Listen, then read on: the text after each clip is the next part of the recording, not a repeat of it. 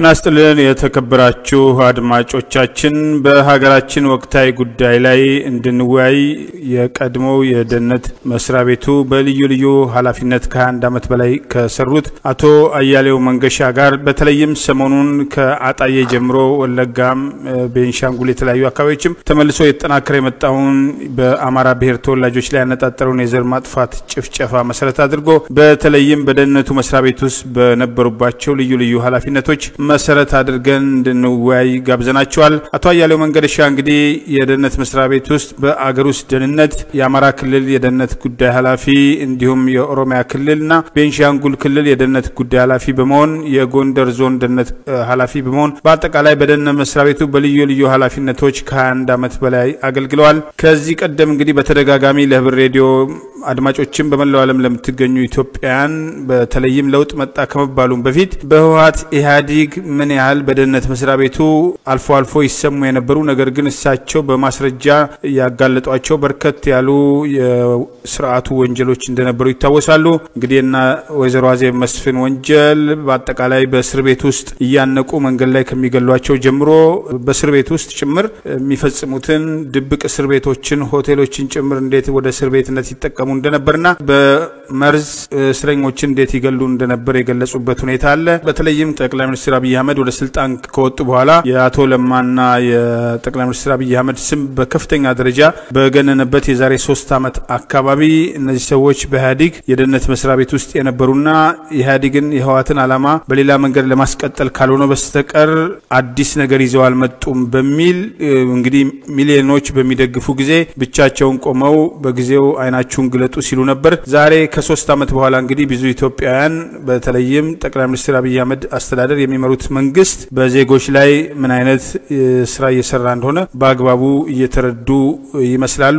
ዛሬም ድረስ ደግሞ ያልተረዱና ጠቅላይ ሚኒስትሩን ከዚህ ተጠያቂነት ለማውጣት የሚሞክሩ ወገኖች አሉ። እስቲ አቶ አያሌው መንገሻ የቀድሞ የደህንነት ሹም በእነዚህና ተያያዥ ጉዳዮች ላይ ሰሞኑን እያየናቸው ያለውን የኦነግ ሸኔ የሚባለውን የህወሓት ርዝራዥ የሚባሉትንና በአጠቃላይ ጠቅላይ ሚኒስትር አብይ አህመድና የኦሮሞ ብልጽግና ፓርቲ የሚባለውን በሀገሪቱ የደህንነት ቀውስ ላይ በሀገሪቱ አለመረጋጋትና በዜጎች ላይ በሚፈጸመው ጭፍጨፋ ምን ያህል ሚና አላቸው የሚለውን ዛሬም ድረስ እንግዲህ ከሀገር ቤት እንደ መረጃ ሰው የሚያገኟቸው መረጃዎች መሰረት አድርገን እንድንወያይ ጋብዘናቸዋል። የፕሮግራሙ አዘጋጅ ሀብታሙ አስፋ ነኝ። እስከ ውይይታችን ፍጻሜ አብራችሁ እንድትቆዩ በአክብሮት ጋብዛለሁ። አቶ አያሌው እንግዲህ ረዘም ካለ ጊዜ በኋላ ድጋሚ ተገናኝተናል። ጥሪያችንን አክብረው በድጋሚ ስለመጡ በህብር አድማጮች ስም ከልብ አመሰግናለሁ። አቶ አያሌው እንኳን ደህና መጡ። እንኳን በድጋሚ ተገናኘን። አመሰግናለሁ አንተም ስለጋበዝከኝ እና የማውቃቸውን ነገሮች አሁንም ሳልታክት ለህብረተሰቡ ጆሮ እንዳደርስ ስለጋበዝከኝ እግዚአብሔር ይስጥልኝ። ከልብ አመሰግናለሁ አቶ አያሌው። እንግዲህ በደህንነት መስሪያ ቤት ውስጥ ቀላል ነገር አይደለም። ከ21 ዓመት በላይ ማገልገል በተለይም እንግዲህ ጠቅላይ ሚኒስትር አብይ አህመድም ቀደም ሲልም አቶ ለማም በዚሁ ደህንነት መስሪያ ቤት ውስጥ ስለነበሩ በዛ መስሪያ ቤት ውስጥ ምን አይነት ነገሮች መንግስትን ስልጣን ላይ ለማስጠበቅ ይደረጉ እንደነበረ ከዚህ ቀደም ብዙ ነገር አንስተዋል። እንዴት ህገወጥ ብር እንደሚታተም ብዙ በርከት ያሉ እንደ አንዳንድ ጊዜ ጆሮአችንን ሁሉ ጭው የሚያደርጉ ወንጀሎችን ሲያጋልጡ ነበርና አሁን ደግሞ ከቅርብ ጊዜ ወዲህ በተለይ እርስዎ የኦሮሚያ ክልልም የደህንነት ክፍል ኃላፊ ሆነው ስለሰሩ ቢያንስ የኦነግን እንቅስቃሴ በዛ ጊዜ የሚያውቁት ነገር ነውና አሁን ጠቅላይ ሚኒስትሩ ስልጣን ላይ ወጡ ከተባሉ በኋላ በስም ደረጃ ቀርቶ የነበረው ኦነግ በዚህ ደረጃ ባዙቃ እስከ መታጠቅ ደርሷል። sniper እስከ መታጠቅ ደርሶ ዜጎችን እንደዚህ የገደለ ነውና በአንድ በኩል ኦነግ ኦነግ ሸኔ የሚባል የለም ይላል። ጠቅላይ ሚኒስትሩ አስተዳደር ኦነግ ሸኔ ናቸው ይላል። እንደው ሰሞኑን ትላንት ወዲያ ጀምሮ እንግዲህ በወለጋ ዞን ባቦ ገንቤል ወረዳ ከመቶ ሰማንያ ሁለት በላይ አሁን ቁጥራቸው እየጨመረ ነው። በአብዛኛው ህጻናት ያሉበት እንግዲህ በንጹሐን ላይ ጭፍጨፋ ተደርጓል። የኦሮሚያ ብልጽግና ፓርቲ የኦሮሞ ልዩ ኃይል በአካባቢው እንግዲህ ደርሶ ህዝቡን መታደግ አልቻለም እና አጣዬ ላይ የነበረውን ጥቃት ሰሞኑን የሚደረገውን ነገርና ኦነግ ነው ወይ ኦነግ ሽኔ እንዴት በዚህ ደረጃ ለማጥቃት ቻለ? መንግስት መቆጣጠር ያቅተዋል? ጥሩ ጥያቄ ነው።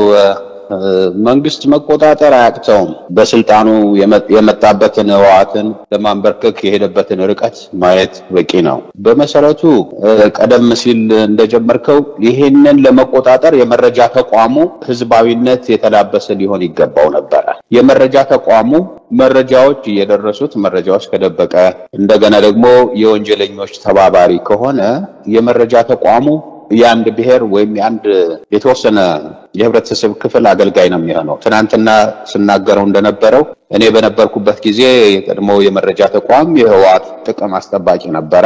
በህወሓት የፖለቲካና የኢኮኖሚ ሌሎች ማህበራዊ እና የውጭ ፖሊሲ ጉዳይ ላይ ጣቱን የቀሰረ ማንኛውም ኃይል ተከታትሎ ያጠፋል። ግለሰብ፣ ቡድን፣ ድርጅት ወይም ሌላ ሊሆን ይችላል። የአሁኑ የመረጃ ተቋም ደግሞ የኦህዴድ ነው። የኦህዴድ የመረጃ ተቋም ነው የምልበት በማስረጃ ተነስቼ ነው። ዋና መሪው አቶ ተመስገን ጥሩነህ ናቸው ብለው የሚያስቡ ወገኖች አሉና ከዚህ ጀምሮ ምንድን ነው ማስረጃው ይሄን ለማለት? አዎ ገልጸዋለሁኝ። ይሄን ለማለት የሚያነሳሳኝ አንደኛ ባለፉት ሶስት ዓመታት ሀያ አንድ የሚሆኑ ከክፍል እስከ ዋና መምሪያ ኃላፊዎች የሆኑ ተባረዋል በብሔራዊ ማንነታቸው ምክንያት ሁለት መቶ ሀያ ሶስት ከአምስቱም ዋና መምሪያዎች በተለያዩ ኃላፊነቶች ላይ የነበሩ ሰራተኞች ተባረዋል። ከተባረሩት ውስጥ 65 percent የሚሆነው አማራ፣ 30 በመቶ የሚሆነው ትግሬ፣ አምስት percent የሚሆኑት ሌሎች ናቸው። ከሶማሌ፣ ከአፋር፣ ከጋምቤላ እና ከደቡብ ማለት ነው። እዚህ ውስጥ እንግዲህ አንድም ኦሮሞ አለመበተኑን ወይም አለመታገዱን ያሳያል። በሌላ በኩል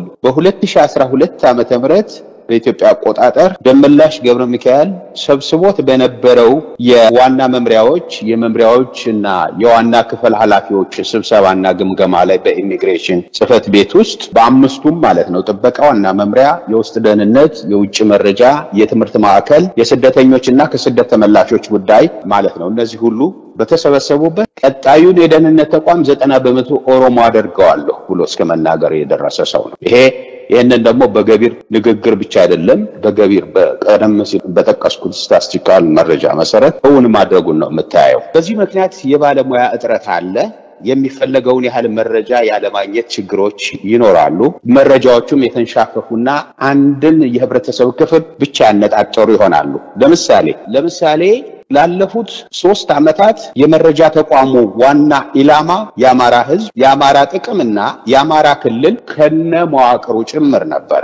ለምሳሌ መጋቢት 2011 ላይ የቀረበው ለምክር ቤት የቀረበው የደህንነት ተቋሙ ሪፖርት እንደሚያመለክተው ትኩረት አድርገን አብዛኛውን በጀታችንና የሰው ኃይላችንን በአማራ ክልል አሰማርተን ባገኘነው መረጃ መሰረት የአማራ ክልልና የአማራ ህዝብ መሰረታዊ ኢላማና የዚህ መንግስት የስጋት ምንጭ ነው ብሎ ያቀረበውን ይፋ በድረገጽ በማህበራዊ ድረገጽ ላይ የወጣውን ይፋ በእነሱ ቴሌቪዥንና ሬዲዮ ጣቢያ ላይ የወጣውን ከዚህ መነሳት ትችላለህ። ስውር ነገር ሳያስፈልግ አሁን ይሄ ግልጽ መረጃ ይባላል። ከግልጽ የመረጃ ምንጭ ከስውር የመረጃ ምንጮች ያገኘናቸው ደግሞ ቀደም በ statistical መረጃውን የሰጠው ነው። በሌላ በኩል ደግሞ ምን ያህል በጀት እንደመደቡ ምን ያህል officer ኦች፣ case officer ኦች፣ ክትትል ወይም surveillance officer ኦች እንደመደቡም ስለምናውቅ ይሄ በትክክል የሚያረጋግጥ አረጋጋጭ መሆኑን ነው የሚያሳየው። በሌላ በኩል በትክክልም ያንን ስራቸውን ተግባራዊ ለማድረጋቸው የአማራን ህዝብ የአማራን ተቋማት መዋቅሩንና ክልሉንም ጭምር በሌላም ክልል ያለውንም ጭምር ኢላማ ስለማድረጋቸው ማረጋገጫው አንደኛ የእልቂቱ መጠን፣ የማፈናቀሉ መጠን፣ የድህነቱ መጠንና በክልሉ ውስጥ የነበሩ አመራሮችን እርስ በርስ የማጋደሉ ሴራ ማሳያ ምልክት ይሆናል። ስለዚህ እነዚህ እነዚህ ሁሉ ተከናውነዋል። አንድ የመረጃ ተቋም ዋና ተልእኮው የወሰንና የሉዓላዊነትን ጉዳይ መከታተል፣ የታጠቁ ኃይሎችን በሀገር ውስጥ እና በውጭ ያላቸውን እንቅስቃሴ መከታተል፣ ማወቅ ለምሳሌ በውጭ ኃይሎች እና በሀገር ውስጥ ቡድኖች የታቀደ የሽብር እንቅስቃሴ፣ የፖለቲካ ድርጅቶች ግለሰቦችና ማህበራትን መከታተል፣ የኢኮኖሚ መረጃ ወይም ሙስናና ምዝበራን ወይም ሌሎች መሰል ተግባራትን መከታተል ነው። ከነዚህ ውስጥ መሰረታዊ አሁን እናንተን የሚመለከተን የታጠቁ ኃይሎች በሀገር ውስጥ ያላቸውን እንቅስቃሴ መከታተል ዋና ተልእኮው ነው የመረጃ ተቋሙ። ስለዚህ የታጠቁ ኃይሎች በሀገር ውስጥ የምልመላ ይዞታቸው በየትኛው የማህበረሰብ ማህበረሰብ ውስጥ ነው የሚመለምሉት? በምን ያህል እድሜ ክልል፣ ምን አይነት ሃይማኖት ያለውን ህብረተሰብ ስልጠና የሚሰጡት የት ነው? አደረጃጀቱ፣ መንቀሳቀሻ ቀጠናቸው ምንድን ነው? የገንዘብ ምንጫቸው ምንድን ነው? አመራራቸው ምንድን ነው? የአፈጻጸም እቅዳቸውስ ምንድን ነው ያቀዱት? okay መለመሉ፣ አሰለጠኑ፣ አስታጠቁ። የስልጠና ቦታዎችንም ለይታቸዋል። ኢላማቸውም ተለይቷል። መቼ ነው ድርጊቱን የሚፈጽሙት? በማን ላይ ነው የሚፈጽሙት? ይህንን የመከታተል ኃላፊነት አለበት ደህንነት። ሌላ ተልእኮ የለውም። ይህን ተልእኮ ካልተወጣ ያ ተቋም መፍረስ ነው ያለበት። ስለዚህ እነዚህ ኃይሎች አጣዬ ላይ፣ ኤፍራታና ግድም፣ ከሚሴ ላይ በመተከልም ሆነ በኦሮሚያ ክልል በተለያዩ ክልሎች የሚፈጸሙ ግድያዎች እና ፍጅቶች ህብረተሰቡ ቀድሞ እየደረሰው ሪፖርት እያደረገ አንደኛ ስልጠና ሲሰጥ እያየ፣ ሁለተኛ የታጠቁ ኃይሎች ከሌላ ቦታ ሲንቀሳቀሱና ወደ ግዛቱ መግባታቸውን እያየ እና በልዩ ልዩ ሁኔታዎች እያየ መረጃ እየሰጠ መረጃው ተቀባይነት እያጣ የተፈጀ ህዝብ ነው። እኔ ራሴ ከሶስት ወራት በፊት በከሚሴና በአፋር ወሰን ስልጠና እየተሰጠ መሆኑን፣ ሰሜን ሸዋም ውስጥ ስልጠና እየተሰጠ መሆኑን ይህም አሰልጣኞቹ የመንግስት የልዩ ኃይልና የመከላከያ አባላት ያሉበት መሆኑን የኦነግ አባላት ያሉበት መሆኑን አውሮፓ በሚገኘው የኢትዮጵያ አንድነት ድምፅ በዚያ ላይ ይህንን መረጃ አስተላልፌዋለሁ። በተለያየ ጊዜ በፌስቡክም ገልጨዋለሁ። ስለዚህ ኦነግ ሽኔን ስልጠና እየሰጠ ያለው የመንግስት የደህንነት መዋቅር ጭምር ነው ማለት ነው። ምንም ጥያቄ የለውም። በመሰረቱ ልንገርህ፣ ለምንድን ነው ይሄ ሁሉ ሲደረግ መንግስት ኃላፊነቱን ለምን አልተወጣም ወደሚለው ነው የምንሄደው። መንግስት ኃላፊነቱን ያልተወጣበት ምክንያት ምክንያት ለማና ወርቅነህ ገበየሁ በ2010 አስመራ ከተማ ሄደው ያደረጉት ስምምነት አለ።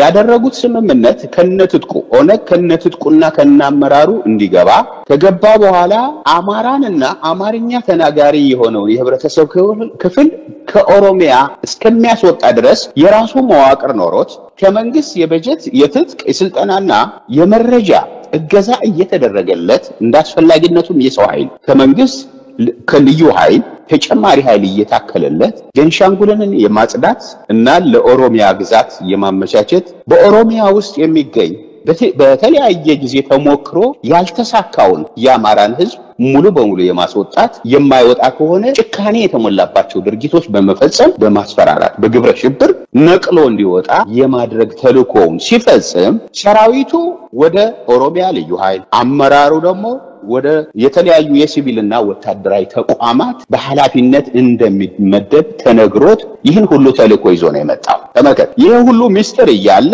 ከኦነግ ጋር ምን እንደተደራደሩ ሳይናገሩ ህዝባዊ ውክልና ተሰጥቷቸው የሄዱ ሰዎች በሚስጥር ያስገቡት ኃይል ነው። በሚስጥር መግባቱ ብቻ አይደለም። ኢሳያስ አፈወርቂ ወይም የሻዕቢያ ሰራዊት እነ ኮሎኔል ፍጹም የሚባሉ እነ ወዲ መቀሌ የምስራቅ አፍሪካ የመረጃ ተቋም ኃላፊዎች የኤርትራ እነዚህ ሁሉ የአዲሃን የአማራ ዴሞክራሲያዊ ኃይሎች ንቅናቄን ሰራዊት ሞባይሉ ሁሉ ሳይቀር ነው የነጠቁት። የሌላውንም ሰራዊት የኦጋዴን ነጻነት ግንባርን የሌሎችንም ታጣቂ ኃይሎች ጦር መሳሪያዎችን አልፈቀዱላቸውም። ለእነዚህ ግን አንደኛ የሻዕቢያ መንግስት ፈቅዷል። ሁለተኛ እነ ስብሃት ነጋ ትግራይ ውስጥ ሄደው ነው በአካል የተቀበሏቸው። ከነ ትጥቃችሁ ግቡ፣ አማራን ግን እንድታስወግዱ ተልእኮ ተሰጥቷቸዋል ተብሎ ነው የገቡት። ለዚህ ማረጋገጫ እንዲሆን በእኔ የመላምት እንዳይመስልህም መረጃዎቹ። ምክንያቱም እርግጥ ነው እንዳሉት የተለያዩ ኦነግ ሰዎችንም አነጋግረናል። በቃል ካልሆነ በስተቀር በጽሁፍ የሰፈረ ስምምነት የላቸውም። ኤርትራ ውስጥ የተደረገውን መንግስትም መጥቶ እንደ መንግስት የተናገረው ነገር የለም። የኦሮሚያ ክልል ወክለው አይደለም የሄዱት። ምክንያቱም ዶክተር ወርቅነህ በጊዜው የውጭ ጉዳይ ሚኒስትር ናቸው። አገር ወክለው ነው የሄዱት። ስለዚህ ከኦነግ ጋር የተደረገው ስምምነት አይታወቅም። ኦነግም የሚናገረው ነገር በቃል ነው፣ ግልጽ ያወጡት ነገር የለም። ከዛ ውጭ እርስዎ እነዚህን መረጃዎች እንዴት ታገኟቸው ከሚለው ጀምሮ ያሉትን እውነታዎች እስቲ ያብራሩልኝ። እነዚህን መረጃዎች ያገኘኋቸው በወቅቱ ኤርትራ ውስጥ ከነበሩ ሌሎች ኃይሎችና በኦሮሞም ውስጥ ከነበሩ ሰዎች፣ በሌላ በኩል በብሔራዊ መረጃና ደህንነት አገልግሎት ውስጥ ከሚሰሩ ሌሎች ከማውቃቸው ኃይሎች ሌሎች ሌሎች ያገኘኋቸው ናቸው። ይህንን ይህንን የሚያጠናክር ጀነራል ከማል ገልቹ የተናገረውንም እንደ ማዳበሪያ ልንወስድለት ደግሞ ይገባል። አንደኛ ወደ ኢትዮጵያ ስትመጡ ከዚህ በላይ ፍጅት ፈጽማችሁ አማራን የማስወገድ ተልኳችን እንድትወጡ ነበር የተባልነው። አሁን እየወሰድ ነው ያለው እርምጃ በጣም ትንሽ ነው ከተነገረን አንጻር ብለው ነበር ያለው። በሌላ በኩል የክልሉ የፍትህና ጸጥታ ዘርፍ ኃላፊ የነበረ ሰው ነው። ያው የሰላምና ጸጥታ ዘርፍ ኃላፊ አዎ የፍትህና ጸጥታ ዘርፍ ኃላፊ ይባላል በክልል ደረጃ ያለ መዋቅር። ስለዚህ ያ ማለት ልዩ ኃይሉ በሱ ስር ነው ያለው። ያ ማለት የማንኛውም የታጠቀ እንቅስቃሴ በክልሉ ሁሉ የሚመለከተው እሱን ነው፣ ህገወጥም ህጋዊ እየተባለ። ስለዚህ መረጃዎችን ያወጣቸው ለምሳሌ ወደ ደቡብ እየሄዱ እንዲመቱ የኦሮሚያ ክልል መስተዳደር የሚጽፍለት የሚጽፍላቸውን ደብዳቤ ይዘው ነው እየሄዱ ይመቱ የነበሩት። ወደ ሰሜን ሸዋም ሲሄዱ እንደዚሁ ደብዳቤ እየተጻፈላቸው ነው። ባንክ ሲዘርፉም ትዕዛዝ እየተሰጣቸው ነው። አንደኛ በጀታቸውን እንዲያሟሉ፣ ሁለተኛ ከባንክ የተገኘው ገንዘብ ትናንትና የህወሓት ሰዎች ክልላቸውን በዚህ መልኩ እንዳበለጸጉት ራሳቸውና ክልላቸውን የእኛንም አካባቢ ለማበልጸግ ይህንን አጋጣሚ መጠቀማችን አስፈላጊ ነው በሚል ራሱ ኦነግ ከሚጠቀምበት በላይ ሰላሳ አምስት ባንክ የተዘረፈው ገንዘብ በቢሊዮኖች የሚቆጠር ነው። እና እነዚህን ሁሉ መመሪያ የሚሰጣቸው ኦህዴድ ነው። በኦህዴድ አማካኝነት ነው የሚደረገው። በሌላ በኩል ለዚህ ማስረጃ እንዲሆን ልግለጽልህ። ለዚህ ማስረጃ እንዲሆን ለምሳሌ በ1983 እስከ 1990 ዓመተ ምህረት በኦነግ ኦህዴድ፣ ህወሓት እና ሻዕቢያ አማካኝነት ከኦሮሚያ ክልል አማራ የተባለው ህዝብ በሙሉ ነቅሎ እንዲወጣ የተደረገ ስምምነት ነበረ ስምምነት ነበራቸው። በዚህ ስምምነት መሰረት ይህን ስምምነት የማቀው ያን ጊዜ ይደረግ የነበረውን ስምምነት የማቀው ስራ ከጀመርኩ በኋላ በኦነግ ተጽፎ የተያዙ ሰነዶች ወደ አማርኛ በላቲንኛ የተጻፈ ስለነበር ወደ አማርኛ እየተተረጎመ ከኔ ስር ባሉ ሰራተኞች ኦሮሞ ሰራተኞች እየተተረጎመ ይቀርብልኝ የነበረው መረጃ መሰረት አድርጌ ነው መናገር። ስለዚህ በእነዚህ ኃይሎች አማካኝነት አማርኛ ተናጋሪ ከኦሮሚያ ክልል እንዲወጣ እቅድ ወጥቶለት ነበረ።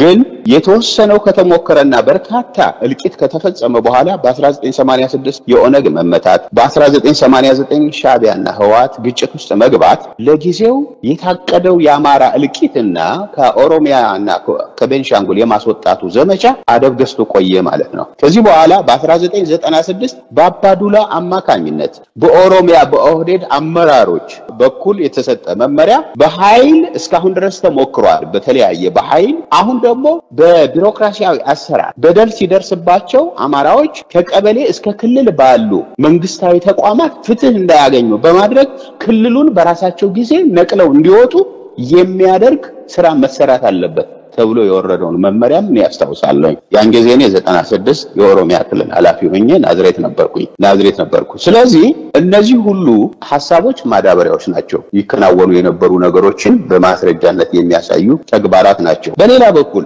28 ሺህ የልዩ ኃይሉ አባላት ከኦነግ ሰራዊት ጋር እንዲቀላቀል ተደርጓል። በ2012 28 ሺህ። በነገራችን ላይ ኦሮሚያ 365 ሺህ ልዩ ኃይል አለው። 200 ሺህ ከአጭር እስከ ረዥም ጊዜ ስልጠና የተሰጠው ቄሮ ወይም በፓራሚሊተሪ ወታደራዊ መዋቅር በሌለው ሁኔታ ተደራጅቶ የተቀመጠ አብዛኛው በአዲስ አበባ ከተማ በልዩ ልዩ ቦታዎች ሰፍሮ የሚገኝ ኃይል ማለት ነው። 47 ሺህ የኦሮሚያ ክልል ፖሊስ ነው ከአዲስ አበባ ከተማ ጭምር። አሁን አማራ ክልልን ፖሊስ በጠቅላላ ፖሊስ የሚባለውን በየቢሮው የሚሰራ ማለት ነው። ይህንን ብትደምረው ከአምስት ሺህ ወይም ከአራት ሺህ አይበልጥ አርባ ሰባት ሺህ አለው የኦሮሚያ። በዚህ በሁለት ሺህ አስራ ሶስት እንኳን አርባ ሁለት ሺህ ልዩ ኃይል ሰልጥነዋል። ሰባቱ ሺህ ከዚሁ ከአርባ ሁለት ሺህ ውስጥ ኮማንዶና አየር ወለድ ነው። አየር ወለድና ኮማንዶ ማሰልጠን የሚችለው መደበኛ ጦር ሲሆን ብቻ ነው። conventional army ሲሆን ብቻ ነው። አሁን እነዚህ ሰዎች ግን በዚህ ደረጃ አሰልጥነው የተገኙ ናቸው። ከነፍስ ወከፍ እስከ ቡድን መሳሪያ አንተ ቀደም እንዳልከው RPG seven ድረስ ያላቸው ናቸው። ስለዚህ በዚህ ደረጃ ያደራጁትን ኃይል ነው እየተጠቀሙበት ያሉት ለማለት ነው። እሺ አቶ አያሌው እንደው እዚህ ጋር 28 ሺህ የሚሆኑ የኦሮሚያ ልዩ ኃይሎች ከኦነግ ጋር እንዲቀላቀል አድርገዋል ብለዋልና በአንድ በኩል እንግዲህ አቶ ለማና ዶክተር ወርቅነህም በተለያዩ ቦታዎች ስለሆኑ አቶ ለማ ከፓርቲው ወጥተዋል። ዶክተር ወርቅነህም እንግዲህ ወደ ኢጋድ ተልከዋል። የጠቅላይ ሚኒስትር አብይ አህመድ ሚና በቀጥታ ምንድን ነው? ምክንያቱም ብዙ ሰዎች ጠቅላይ ሚኒስትሩ እንደውም እነ ሽመልስ አብዲሳ እያስቸገሯቸው ነው፣ እነሱ ዘረኞች ናቸው፣ እሳቸው ለኢትዮጵያ ቀን ያወጣሉ፣ ገና ያሻግሩናል ብለው በልዩ ልዩ መንገድ እንግዲህ አገር ቤትም ገብተው ጥቅም ያገኙ ኮንዶሚኒየም የተሰጠው ሁሉ ለእሳቸው እየቀሰቀሰ ይገኛልና ጠቅላይ ሚኒስትሩን ከነዚህ ኃይሎች ነጥሎ ማውጣት ይቻላል? የእሳቸው ሚና ምንድን ነው? ይሄን ጦር በማደራጀቱ መንገድ ይሄ 28 ሺህ የተባለው ለኦነግ ጦርስ በምን መንገድ ነው የተሰጠው? ጥሩ ነው። ስለ አብይ ስለ አብይ ማንነት እኔ ገና ወደ ስልጣን ሲመጣ ጀምሮ የገለጽኩት ነው። በሂደት አይቼው አይደለም፣ ምክንያቱም ታሪኩን አውቀው ስለነበረ። ስለ ለማ ስለ ወርቅ ነው የገለጽኩት፣ ግን አብረን ሁለት ከነዚህ ከሁለቱ ጋር አብሬም ስለሰራሁ ነው በአንድ የደህንነቱ ተቋም ውስጥ ማለት ነው። በተለያየ ደረጃችን አብይ ማለት እኮ አብይ ማለት ያኖሌ ሐውልትን አስተባባሪ ሆኖ ያሰራ ሰው ነው። ያኖሌ ሐውልት ማለት እጅግ አደገኛ የሆነ ከፋፋይ በአማራ ሕዝብ ላይ ቂም የቋጠረና ጊዜ የማይፈታው እጅግ አስከፊ የሆነ መሰረት የተጣለበት ሁኔታ ነው። አኖሌ የተቀመጠበት ቦታ አርሲ ዞን ሂጦሳ ወረዳ ነው። ይቺ አኖሌ የተቀመጠችበት ቦታ የቀድሞ አርበኞች የሰፈሩበት ነው። የቀድሞ ስሙም ጠመንጃ ያዥ ነበር የሚባለው ጠመንጃ ያዥ ይባል የነበረ ነው። አኖሌ ከተቀመጠበት በኋላ ሐውልቱ ከሰፈረበት በኋላ ግን አመያ ተብሎ ተሰይሟል። ተመልከት።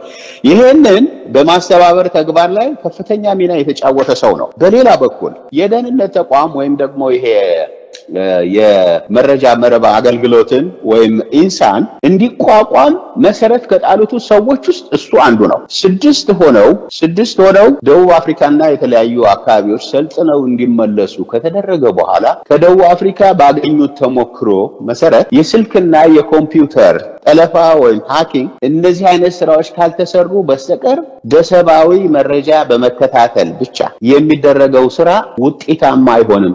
በውጭ ያለውን ጸረ ህወሓት የሆነ ጸረ ኢህአዴግ የሆነውን ኃይል በዚህ በቴክኒካዊ መሳሪያ ነው መቋቋም የምንችለው የሚል አስተያየት ከሰጡት ውስጥ ከስድስቱ ሰልጣኞች ከሶስቱ ውስጥ መሰረታዊ ከተባሉት ሶስቱ ውስጥ አብይ አህመድ አንዱ ነው። አብይ አህመድ መለስ ዜናዊ ከመለመላቸው የመለስ ምልምሎች ከሚባሉት አንዱ ነው። የመለስ ምልምሎች፣ የበረከት ምልምሎች የሚባሉ አሉ። የየራሳቸው ቡድን ነበራቸው። ግን ሁለቱም አንድ ላይ የሚገናኙበት ነገር አለ። አንድ ዘረኝነት፣ አንድ የህወሓትን የበላይነት ማረጋገጥ፣ አማራን የማጥፋት ሀገሪቱን የመበተን ዞሮ ዞሮ ግን የየራሳቸው ቡድን ነበራቸው እና ይሄ ነው ለምሳሌ በረከት በረከት ለመታሰሩ አሁን ብዙ ሰው የአማራ ክልል መስተዳደር ጥርስ አውጥቶ እንዳሰረው አድርጎ ይወስዳል። በፍጹም የአማራ ክልል ራሱን ያስር ይሆናል እንጂ ትግረኛ ተናጋሪ የማሰር አቅም የለውም፣ ሞራልም የለውም። ትግሬ ሲያደንቁ የኖሩ እኮ ናቸው። የሞራል ልዕልናቸው የሞተ እኮ ነው በሙሉ ከጥንትም ጀምሮ እስካሁን ድረስ ያሉት እየተራ እየመጡ የሚወዘፉ።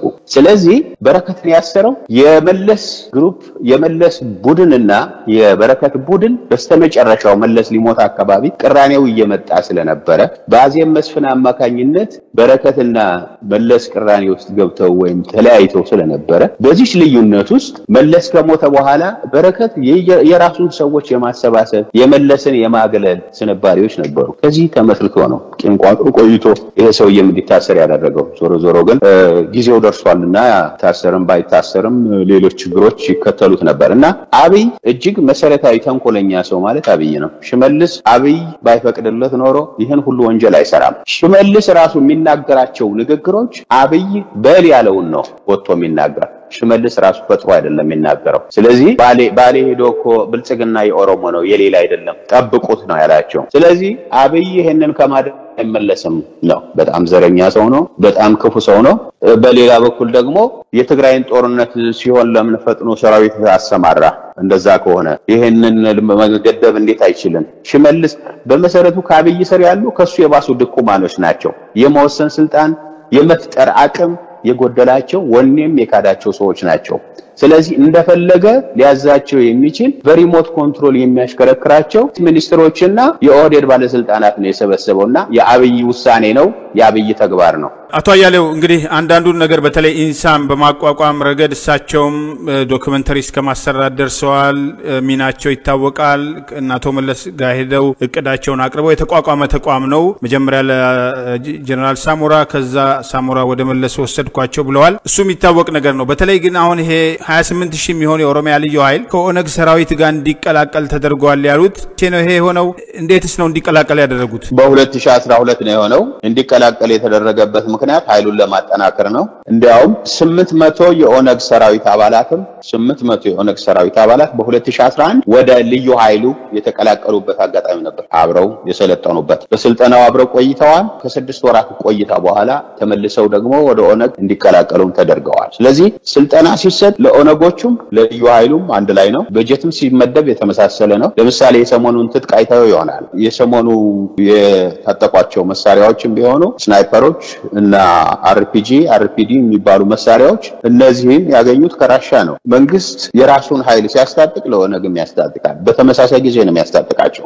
ስምሪቱም ተመሳሳይ ነው። ምክንያቱም ዓላማው አማራን የማስወጣት ስለሆነ ነው እና በ2012 ነው የቀላቀላቸው። በ2012 650 የሚሆኑ የጦር ተሽከርካሪዎች ተገዝተዋል በ24 ቢሊዮን ብር። እነዚህ በኢትዮጵያ አባባል ትንንሾቹ ቶዮታ ፒካፖች ናቸው። ፈጣኖች ናቸው። የተወሰነ የሰው ኃይል መትሬሶችና አየር መቃወሚያዎች ሊጭኑ ይችላሉ። አጫጭር አየር መቃወሚያዎች እና ሌሎች ሚሳይሎች ከነዚህ ውስጥ ከነዚህ ውስጥ ስልሳ አምስቱን ለኦነግ ሰጥቷቸዋል። ቀሪው የልዩ ኃይል ሆነዋል። ስለዚህ አንድ ላይ ተካፍለው የሚሰሩት ነው ነው አንድ አይነት ሰራዊት ነው ነው በመሰረቱ በሀገሪቱ የሚደረጉት ማንኛውም እንቅስቃሴዎች ከሱ እውቅና ውጭ የሚሆኑ አይደሉም። ራሱ መተከል በሄደበት ጊዜ እሱ ስብሰባ ሰብስቦ ፓዌ ድባጤና ቡለን ግን ግድያ እየተፈጸመ ነበረ። ስለዚህ መታየት ያለበት ከዚህ አንጻር ነው።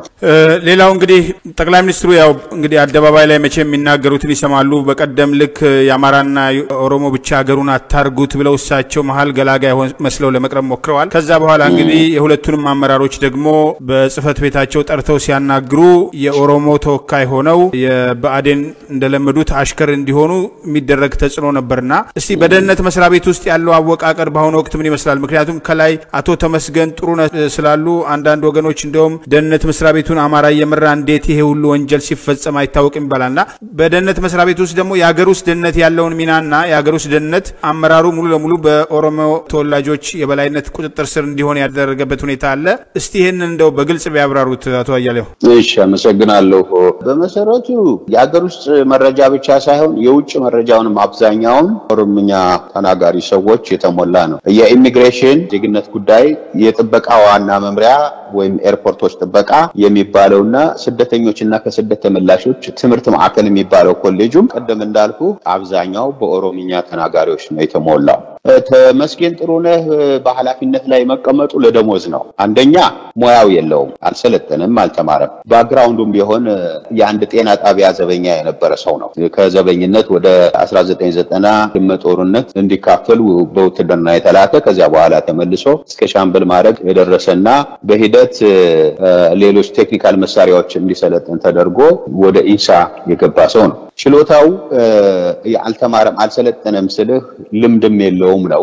ምክንያት እኔ ለምሳሌ ባለፈው ዓመት የማስታውሰው ያንን የዋ ህዝብ ለማታለል የአማራ ክልል ርዕሰ መስተዳደር በነበረበት ጊዜ ከትግራይ የሚመጡ ህወሓት ያሰማራቸው በልመና እና በሃይማኖት በምንኩስና እና በካህን ሽፋን እያደረጉ እብድ እየመሰሉ የሚመጡ በርካታ ሰዎች ይዘናል ብሎ የተናገረ ጊዜ ነው። ትክክል ያልሆነ ሰው እንደሆነ የተረዳሁት። ምክንያቱም ጎንደር ከተማ ውስጥ ስልሳ አምስት ሰዎች በዚህ መንገድ የመጡ ይዘናል ሲል ግን ጎንደር ከተማ ውስጥ ስድስት በመቶ የሚሆነው ትግረኛ ተናጋሪ ህዝብ ነው። ያ ትግረኛ ተናጋሪ ህዝብ መሰረታዊ የሆኑ ዋና ቁልፍ የንግድ ተቋማትን፣ የመንግስት ተቋማትን፣ የሃይማኖት ተቋማትን፣ የፖለቲካ ተቋማትን በሙሉ የወረረ ነው ትግሬው። ስለዚህ ቁልፍ ተቋማትን ይዘው እያለ ለማኝ ለምን ይልካሉ? መነኩሴ ለምን ይልካሉ? እብድ አስመስለው ለምን ይልካሉ? ለመሰለል። እንግዲህ ይህ አባባል ይባል የነበረው በ19 ሰባዎቹ ነው። በደርግ ጊዜ እብድ መስለው ይመጣሉ፣ ቆርቆሮ አለው ወይም ደግሞ ልዋጭ እያሉ ይመጣሉ ምናምን የሚባል የዚያን ዘመን ነው። አለፈ። አሁን አሁን ጊዜው አይደለም። አሁን ቁልፍ ተቋማትን በሙሉ ይዘውታል። ገንዘብ በእጃቸዋል። እብድ መስለው አይደለም የሚመጡት፣ ሚኒስትር መስለው ነው የሚመጡት። ስለዚህ እውቀት የለውም ስልህ ነው። መነሻም የለውም። ከመጀመሪያም ቢሆን መነሻው በግልብ ሁኔታ የመጣ ሰው ነው። ዋናው የተፈለገበት ለታማኝነቱ ነው። ለታማኝነቱ ቆረቆረኝ የማይል ወይም ተቸገርኩ የማይል የህዝብ ስቃይና መከራ የማይገባው ለዕለት ጉርሱ የሚተዳደር ወይም መኖር የሚፈልግ ሰው ስለሆነ ብቻ በዚያ ቦታ ላይ ተመድ የደመላሽ ገብረ ሚካኤል ከዚያ ቦታ መነሳት ደግሞ ላይ ውስጥ የተከሰተው የህወሓት እንቅስቃሴ ምንም ሳይታወቅ መረጃ ሳይደርሰው ያ ነገር በመፈንዳቱ ምክንያት የመረጃ እጥረት አለብህ፣ የስራ ጉድለት አሳይተሃል ተብሎ ነው የተነሳው። እንደ ጀነራል ማን እንደተባለው መከላከያ ሹም እንደነበረው ማለት ነው። ስለዚህ እሱ ሰውዬ ዝም ብሎ ተጎለፈ እንጂ ፋይዳ የሚኖረው አይደለም። የአማራ ህዝብም ጥላቻ ያለው ለጥቅሙ የሚያደር እንጂ ለአማራ ህዝብ ጥቅም ማስከባሪ ሰው አይደለም መዋቅሩን በተመለከተ መዋቅሩን በተመለከተ አንተው እንዳልከው አብዛኞቹ ኦሮሞዎች በመሆናቸው ምክንያት በሌላ በኩል በህወሓት ዘመን እንደነበረው አማራን ኢላማ አድርጎ መቀጠሉ አሁንም እየተከታተለ ስለሄደ አማራንና በአማራ ጥቅሞች ላይ ብቻ ያነጣጠረ የሆነ ነገር እንደ መረጃ ተይዞ ለሚፈለገው እርምጃ ለሚወስዱ አካሎች የማይቀርብበት ሁኔታ እየተፈጠረ ነው ያለው። ስለዚህ የሀገሪቱን ጸጥታ የሚያስከብር የሚጨፈጨፈውን ህዝብ ደግሞ የሚያድን ተቋማዊ አሰራር የለውም ብለን መውሰድ እንችላለን። አሁን እና ተመስገን ጥሩነህ ለደሞዝ ሲባል የተቀመጠ እንጂ ፋይዳ ያለውና ሙያም ያለው አይደለም። ሊያርማቸውም አይችልም። እንግዲህ አንዳንድ ሰዎች ጠቅላይ ሚኒስትሩ ባለቤት የአማራ ብሔር ተወላጅ ናቸው። እንግዲህ አቶ መለስን ቀደም ሲል የወልቃይት ተወላጅ መሆናቸው ወይዘሮ አዜብ መስፍንን ማስታወስ ይቻላል። የጠቅላይ ሚኒስትሩ ባለቤት እንግዲህ በመልካም ምግባራቸው ይነሳሉ። ነገር ግን ባለቤታቸው አማራ ስለሆኑ እንደውም እሳቸው ከዚህ ቀደምም ክደው ነው እንጂ እናቴ አማራ ነች ብለው ካሉ በኋላ ኖርዌይ ላይ ታሪካቸው ሲነበብ እናታቸው አማራ ነበር፣ በኋላ ደግሞ ኦሮሞ ነች ብለው በሌላ መድረክ ላይ እሳቸው እስከ መናገርና ራሳቸውን እስከ መካድ የሄዱበት ሂደት አለ። ከዛ ውጭ እንደው አማራን ሊጎዱ አይችሉም። እሳቸው እንደውም ታላቂቱን ኢትዮጵያ መመስረት ነው የሚፈልጉት። አስቸግረዋቸው ነው፣ አላሰራ ብለዋቸው ነው። እነዚህ እንደው ጎጠኞች ብለው እናቶ ሽመልስን፣ አቶ አዲሱ አረጋን፣ አቶ ታየ ደንዳን ሌሎቹን የሚከሱና ጠቅላይ ሚኒስትሩን ከዚህ ውስጥ ለማውጣት የሚሞክሩ ኃይሎች አሉ። እሳቸው ቢፈልጉ ጠቅላይ ሚኒስትሩ ይሄንን ነገር ኦነግሽን የሚባለውን እንቅስቃሴ ለመቆጣጠር ይቸግራሉ? በፍጹም አይቸገርም። በመሰረቱ እኔ አዲሱ አረጋንም አውቀዋለሁ፣ ሽመልስም እንዲሁ በርቀት በትንሹ። ዞሮ ዞሮ እነዚህ ሰዎች የመወሰን አቅምም ያላቸው አይደሉም፣ ወሳኞችም አይደሉም። ቅድም እንዳልኩ የመፍጠርም አቅም ያላቸውም አይደሉም። በሌላ በኩል ቅድም እንዳልኩ በሙሉ ከሱ ስር ያስቀመጣቸው ሚኒስትሮችም ሆኑ በኦሮሚያ ክልል የተቀመጡ ኃላፊዎች ወይም ወታደራዊ ተቋሙንም እየመሩ ያሉት ምርኮኛ ጀነራሎች በመሰረቱ የሞራል ልዕልና የሌላቸው የመወሰን አቅም የጎደላቸው የታዘዙትን የሚፈጽሙ ሰዎች ናቸው። ስለዚህ እነዚህ ሰዎች በአብይ ላይ ሊወስኑበት የሚችሉ አይደሉም። በአብይ ላይ ሊወስኑበት የሚችሉትን አዋቂ የሆኑ ሰዎች፣ በልምድ የዳበረ እውቀት ያላቸውን ሰዎች እንደገናም በራስ መተማመን ያላቸው መፍጠር የሚችሉ እና ማህበራዊ መሰረት ያላቸውን ሰዎች አላስጠጋም ያላስጠጋ በትም ምክንያቱ እንደፈለገ የሚያዘው የቤት ሰራተኛ የመሰለ መንግስታዊ መዋቅር እንዲኖር ከመፈለግ ነው። ስለዚህ ዋናው ነገር አብይ መልካም ነው፣ ሌሎች አላሰራ ብለው ነው። እነዚህ ጥቅመኞች የሚያወሩት ነው። በመሰረቱ የሚገርምህ ነገር አንተ ታስታውሳለህ፣ ከአንተ ጋር ብዙ ጊዜ ሰርተናል፣ እንደ ኢሳት እንደ ሌሎች ሚዲያዎችም እኔ ወጥቼ ራሴን አጋልጬ በርካታ ከኔ በላይ ኃላፊነት የነበራቸው እኔን የሚያስተምሩኝ የነበሩ የደህንነት ተቋሙ ቁልፍ ሰዎች እዚህ አሜሪካ ውስጥ አሉ። የተስፋዬ ወልደ ስላሴ ምክትል ኃላፊ የነበረ ሰው ሁሉ አለ እዚህ አውቃለሁኝ። ቀና ብሎ ግን ስለ ወገኑ መበደልና ችግር የተናገረ ማንም ሰው አልነበረም። እኔና ኤርሚያስ ነን። ወጥተን የመጣውን ሁሉ ለመቀበል ዝግጁ ሆነን መገለልና ሌሎች ተጽዕኖዎች እየደረሱብን በዚያን ወቅት ህወሓት በተለያየ ጊዜ በእኔ ላይ ጉዳት ለማድረስ ሰዎች እስከ መላክ ድረስ የተደረሰበት የተለያዩ ችግሮች የደረሰብኝ በስራዬም በማህበራዊ ግንኙነትም የዚህ አካል ነው እና እኛ ባናጋልጠው ኖሮ ህወሓትን በዲያስፖራ ውስጥ ያለ የፖለቲካ እውቀት ጉድለት ህወሓት በዚህ ደረጃ ላይ የሚደርስ አልነበረ። በመሰረቱ ሀገር ውስጥ አመፅና እኛ ደግሞ ውስጡን ገመናውን በሚፈለገው መንገድ ማውጣታችን በትክክልም የበደሉ ደረጃ ከፍተኛ መሆኑን የተረዳው ህዝብ የተመሳሰለ አስተሳሰብ እንዲኖረው በማድረግ ረገድ ትልቅ አስተዋጽኦ አድርገናል። ያን ጊዜ ምን ያነሳሁት ሀሳቡን ያን ጊዜ ስለ እኛ መልካም ስራ ሳይሆን በመሰረቱ እኔና ኤርሚያስ ወይም እኛን የመሰሉ ሰዎች ያደረግነውን ትግል ያህል ሆነ አብይ እኛ ባደረግነው ትግል ውጤት ነው። የነ ለማ ስልጣን የነ አብይ ስልጣን። እኛ የነበረንን የፖለቲካ ንቃተ ህሊና ያህልም እነሱ ኖሯቸው አይደለም። ማታለል ይችሉ ይሆናል እንጂ የፖለቲካ ንቃተ ህሊናቸውንም በጥልቀት አውቀዋለሁ በቅርብ።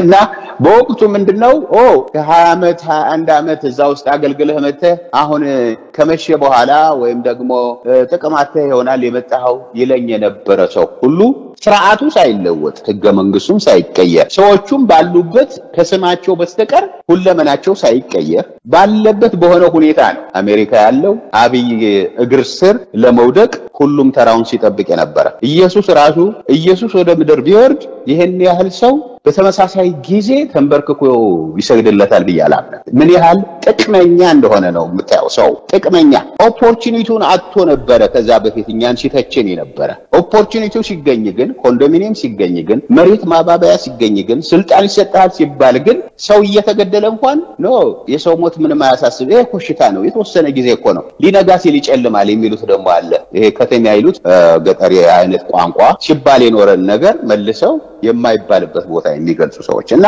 ሌላ በጣም በጥቅም የታወረ ህዝብ ሲሆን፣ በሌላ በኩል ደግሞ የሌሎች ግፍ፣ የሌሎች ችግር፣ የሌሎች መከራ፣ የሌሎች በቁማቸው ስጋቸው እየተበላ የምታየው ነገር ውስጥህን ካላሳዘነ እርግጥ ነው ለጥቅም ተንበርክከ የሆነውን ሁሉ ማለት ትችላለህ። ስለዚህ ከፊሉ እንደዛ የሚለው ከፊሉ ቤት አለው አዲስ አበባ፣ ከፊሉ ቤት አለው፣ ከፊሉ መሬት አለው፣ ከፊሉ ቃል ተገብቶለታል፣ ከፊሉ ደግሞ በተስፋ ይጠብቃል። የሚመለምሉ አሉ። እዚህ እኮ አሜሪካ ውስጥ አሁን በተለይ አማራውን ሙሉ በሙሉ የአማራውን ትግል ጨፍንጎ የያዘው በየማህበራዊ ሚዲያ የሚያቅራሩት አማራዎች በብአዴንና በብልጽግና ተመልምለው የሚገኙና ቀደም ሲልም ቢሆን ሰላዮች የነበሩ መሆናቸው ነው። ይገርመሃል። ስለዚህ ይህ አንደኛ እንዴት ብሎ ወደ አንድ አስተሳሰብ ይምጣ? አደናጋሪው በዛበት። አንድ ወር ያህል ስለ አማራ ያወራል አንዱ፣ በሁለተኛ ወር GoFundMe ይላል ዘርፎት ለመውጣት። አሁን ዘርፎ ዘርፎ ሁሉም ድምፁን አጥፍቷል። አዲስ ዘራፊ ነው ደግሞ አሁን እየጮኸ ያለ እና ይሄ ስለሆነ ጥቅም አይቶ በጥቅም ታውሮ ካልሆነ በስተቀር ይሄን ሁሉ እልቂት ካላሳበደህ ካላመመህ ካልተሰማ ካላስጨነቀ አንተ ሰብአዊ ፍጡር አይደለህም። በመሰረቱ የሀገሪቱ ጠቅላይ ሚኒስትር እኮ እሱ ነው። ሽመልስ አይደለም እኮ የሀገሪቱ ጠቅላይ ሚኒስትር ወይም ደግሞ አዲሱ አረጋ አይደለም ወይም ብርሃኑ ጁላ አይደለም። የሀገሪቱ ጠቅላይ ሚኒስትር ስለሆነ አይደለ እንዴ? እንኳንስ በስሩ የነበረውን መቶ ሀምሳ ሺህ ሰራዊትና የአማራ ልዩ ኃይል የተባለውን ፋኖና ሚሊሻ እንኳን ሳይቀር እሱ ግን በአየር ወለድ ሁሉ ያዘለለውን ልዩ ኃይሉ እንኳን ወደ ትግራይ አላከም። ይህን ሁሉ መላክ የቻለ አቅም ስላለው አይደለ እንዴ? የኤርትራን ሰራዊት ግባልኝ ያለ አቅም ስላለው አይደለ እንዴ? ስለዚህ አስፈጻሚው እሱ ነው። master minded የእንዲህ አይነት የአማራን እልቂት እያባበሰ ያለ master minded እሱ ነው። ሚስቱ ለተባለችም ሴትዮ በመሰረቱ የተወሰነ አማራነት ሊኖራት ይችላል። ግን አንዳንዶች እንደሚሉት ወደ ትግራይ ወደ ሽሬም ትወለዳለች ይሏታል። ዞሮ ዞሮ የመወለድ ጉዳይ አይደለም። አዜብ መስፍን እኮ አዜብ መስፍንም አዜብ ጎላም በመሰረቱ ጎንደር ውስጥ የተወለደች የወልቃይት ሰው የምትባል ነች። ግን የባንዳ ልጅ ግን የምትኖረው ለህወሓት ነበረ። ይችም እንደዚሁ ነች። የአቶ ኃይለማርያም ባለቤትም እኮ እንደዚሁ ናት፣ ጎንደሬ ናት። እና ሴቶቹ የሚኖሩ ሴቶቹ የሚኖሩት መኖር ስላለባቸው ስለ ከርሳቸው እንጂ ስለ ብሔራዊ ነጻነታቸው አይደለም። እኔ እንኳን ማንሳት የፈለግኩት ምንድን ነው፣ በተለይ የአማራ ክልል አካባቢ አብይ አማቻችን ነው የሚባል ከየት የመጣ ቋንቋ እንደሆነ የማይታወቅ እዛ በአዴን ቤት ውስጥም የገባ የአማራ ህዝብ ላይ የሚደረገውን መከራና ችግር ይሄን ሁሉ እልቂት በአማች ፖለቲካ ለመጠርነፍ የሚሞክሩ በዚህ በዲያስፖራም በዛም ሀገር ቤት አሉና እንደው አንድ በአንድ በኩል ይሄ ወደየት ይታያል ነው፣ በሌላ በኩል ይሄ ስትራቴጂ የት ድረስ መሄድ ይችላል? አብይ ብቻቸውን ነው ወይ ይሄን የሚያደርጉት? ይህንን ለማስፈጸም ያዋቀሩት ሌላ ኃይል አለ? ቀደም ሲል እንግዲህ ህወሓቶች የካሳንቺሱ መንግስት የሚሉት ከመንግስት በላይ መንግስት የሆነ ራሳቸው ብቻ የሚያዙበት ኃይል ነበርና እንደሱ አይነት ነገሮች አሉ አሁን? አዎ አለ አለ። ለምሳሌ የነ ኩምሳ ወይም የጃልመሮ ሰራዊት ኦነግ ሸኔ አይደለም። ኦነግ ሸኔ ሳይሆን ኦነግ ነው። እሱ ኦነግ ሸኔ ናችሁ ወይ ብትላቸውም አይቀበሉህም። እሱም ኦነግ ሸኔ የሚለውን ክንፍ ይዞ የተለየ ኃይል ያቋቋሙት ከልዩ ኃይልና ከኦነግ አውጣተው ያቋቋሙት ለማ መገርሳ፣ ሽመልስ አብዲሳና አብይ አህመድ ናቸው እና ሌሎች አንድ ሁለት ሰዎች ለጊዜው ስማቸውን የረሳኋቸው እነዚህ ሰዎች ናቸው ያቋቋሙት። ስለዚህ ይህ ኃይል ኦነግ በሌለበትም አካባቢ ተወርሮ የሚመታ ነው። የአማራን ንብረቶች የሚወድም አማራን የሚያጠፋ ከዚህ ኃይል ጎን ለጎን ቅድም ያልኩ የፓራሚሊተሪ አይነት ስልጠና የወሰደ የሁለት መቶ ሺህ የሚሆን ቄሮ ትንሽ ቀኖች እስከ ወራት ድረስ ስልጠና ወስዶ በአዲስ አበባ ዙሪያ የሰፈረ በተለያዩ ባልተጠናቀቁ አፓርትመንቶ ፎቅ ቤቶች እና በተለያዩ አዳራሾች የሰፈረ አዲስ አበባ ከተማ ውስጥ ባለሀብቶች እንደ አቅማቸው ለዚያ ኃይል ቀለም እንዲያቀርቡ የሚታዘዙበት በአቀርቡ ደግሞ ይሄን ኃይል ብንለቅባችሁ ንብረታችሁንም እናንተንም ያሳጣችኋል እስከ መባል ድረስ እያስፈራሩ የሚያኖሩት። ስለዚህ ይሄኛው ኃይል አለ።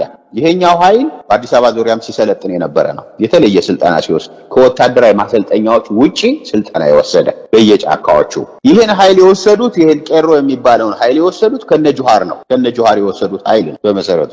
ስለዚህ ተወርዋሪ የሆነ የራሱ ኃይል አለው። የራሱ ኃይል ልዩ ኃይል የሚባለውም በኦሮሚያ ውስጥ ያለው ልዩ ኃይል የሚባለውም የተወሰነው ኃይል ኦነግ ውስጥ ይሄዳል። የተወሰነው ኃይል ራሱ ባቋቋመው ኦነግ ሽሌ የተባለ ደግሞ ሌላ መቼ ኃይል እዛም ውስጥ የተወሰነ ኃይል እየሄደ እየዘመተ አማራን በመጨፍጨፍ ረገድ ትልቅ አስተዋጽኦ እያደረገ ያለ ነው። ስለዚህ በመጀመሪያ አብይና ለማ ነበር ይመሩት የነበረው። አሁን ለማ ከተገለለ በኋላ አብይ በበላይነት የሚመራው ነው። ስለዚህ ከሱ እውቅና ውጪ የሚደረግ አይደለም። ግን ሌላው ወደ ኦሮሚያ፣ ቤንሻንጉልና ደቡብ ክልሎች የተደረጉ ጭፍጨፋዎች ምን እንደሚመስሉ ጊዜ ካለ ማቅረብ ይችላለሁ። እንግዲህ ቀደም ሲል የቤንሻንጉልም የደህንነት ክፍል ኃላፊ ሆነው አገልግለዋል።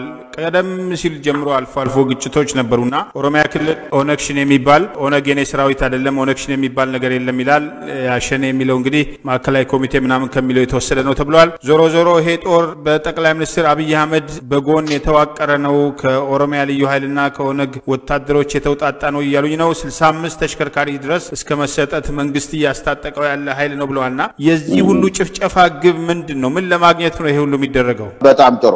የዚህ ሁሉ ግብ የዚህ ሁሉ ጭፍጨፋ ውጤት አንደኛ ቤንሻንጉል ክልልን፣ ሁለተኛ ኦሮሚያን እና በተቻለ ደቡብንም ጭምር አማራ አማራ ከሚባል ማጽዳት ነው። ቅድም ጀምሬልህ እንደነበረው ከ83 እስከ 90 ድረስ ከኦሮሚያ ክልል በጠቅላላ አማራ እንዲወጣ ይደረግ የሚለው ነገር በኦነግ መመታት በሻዕቢያና በህወሓት ጦርነት መግባት ምክንያት ተቋርጦ እንደነበረ ነግሬያለሁ። 96 ጀምሮ ደግሞ አባዱላ ምን እንዳደረገና በመመሪያ በወረደው መሰረት አማራ የሆነ በማንኛውም መንግስታዊ ተቋም ውስጥ ፍትህና ተጠቃሚ እንዳይሆን በማድረግ ክልሉን ለቆ የሚወጣበት የተለያዩ የሳቦታጅ ስራዎች እንዲሰሩ የተባለበት ነው። ከ2010 ጀምሮ ደግሞ አሁን ያየነው ከኤርትራ ያመጡትን ኃይልና እዚሁ አሰልጥነው ያዘጋጁትን ኃይል ተጠቅመው ደግሞ የማስመታት ነው። ለምሳሌ በቤንሻንጉል ክልል ሲፈጇቸው በበላይነት የሚመሯቸው የኦሮሞ ኃይሎች ናቸው። የኦሮሚያ ልዩ ኃይል በከፊል ደግሞ የኦነግ ኃይሎች ተሰማርተው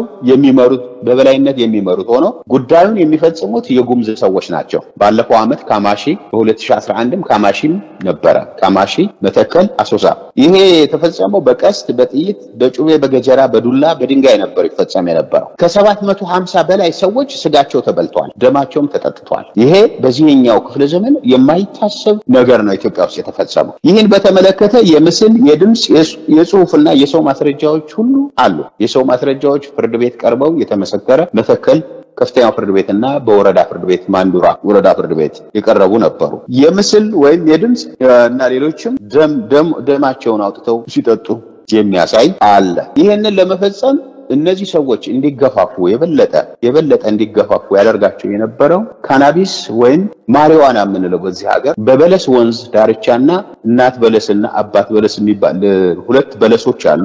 የበለስ ወንዝ መተከል፣ በሌላ በኩል ካማሽን አሶሳንና መተከልን የሚያገናኘው ደግሞ የአባይ ወንዝ አለ። ወደሱ በሚጠጋበት ጊዜ በእነዚያ ወንዞች አካባቢ ካናቢስ ይበቅላል። በርታዎቹ በዘወትር ይጠቀሙበት ነበር። ድሮም እዛ እያለሁ ሲቆፍሩም ሌሎች ስራዎችም ሲሰሩ ይጠቀሙበታል ለማጠናከሪያነት። አሁን ጉምዞችን ግን እንዲጠቀሙበት እየተደረገ ከአልኮል ጋር ሲወስዱት ራሳቸውን የሚስቱ የሰውን ስጋ ለመብላት ወደኋላ እንዳይሉ የሚያደርግ የጭካኔ ደረጃቸው በፍጹም ወደር እንዳይኖረው እየተደረገ የተፈጸመ አፈጻጸም ነው። ይሄ ደግሞ በጀት ተመድቦለት ጦር መሳሪያና መረጃ እየቀረበላቸው ቀለብ እየቀረበላቸው ስልጠናም እየተሰጣቸው የተደረገ ነው። በዚህ መሰረት ቤንሻንጉል ክልል ውስጥ 265405 ህዝብ ነበረ።